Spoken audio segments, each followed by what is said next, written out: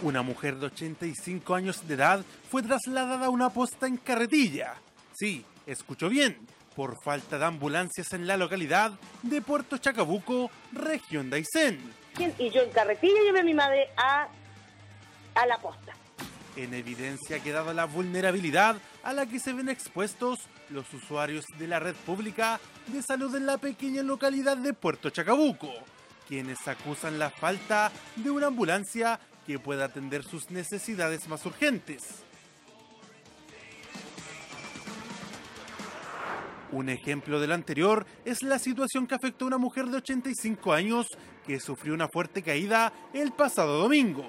Su hija Clara Gallardo, por la avanzada edad de la afectada, requirió el traslado a la posta local en un vehículo. Sin embargo, el recinto asistencial no contaba con el móvil para este tipo de traslados. La llevé a médico. No había ambulancia. La tuve que llevar con carabinero, sabiendo que ellos no pueden trasladar. Fueron muy gentiles conmigo y me ayudaron a llevar a mi madre. De vuelta, como no había ambulancia, tuve que traerla en un bus de esos que usan de los pasajeros y de recorrido. Y ella con el dolor que tiene en la clavícula o cadera, le costaba hasta para subirse.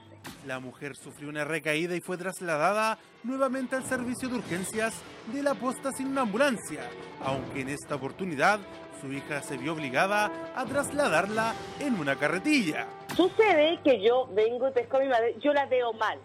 Yo no me voy a poner a esperar que llegue la ambulancia o que nada, yo lo primero que hice fue agarrar mi, mi carretilla, decirle a mi hija menor y a mi marido que me acompañen y yo en carretilla llevé a mi madre a, a la posta. El personal de turno afirmó a la paciente y a su hija que la falta del vehículo se debía a que la ambulancia local había sido empleada para cubrir una urgencia en Puerto Aysén. Bueno, yo cuando llego a la posta me dicen que la ambulancia estaba cubriendo ahí. ¿Por qué si se dio la orden de que no se sacara la ambulancia de Puerto Chacabuco, la siguen tomando? No estamos en contra de eso, no estamos en contra de que saquen la ambulancia. Nosotros necesitamos que nos den mayor seguridad. La administración de la posta de Puerto Chacabuco está a cargo del Hospital de Puerto Aysén. Por ello, su directora Sandra Ampuero aclaró que en este caso se efectuó el protocolo correspondiente y que por respeto a la familia no entregarán mayores detalles de lo ocurrido.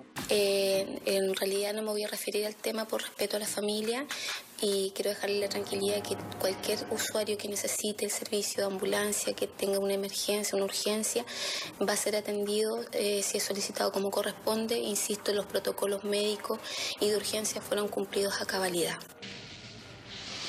Es el insólito suceso ocurrido en Puerto Chacabuco, región de Aysén en donde una mujer llegó a la posta de la localidad en carretilla por la falta de ambulancias.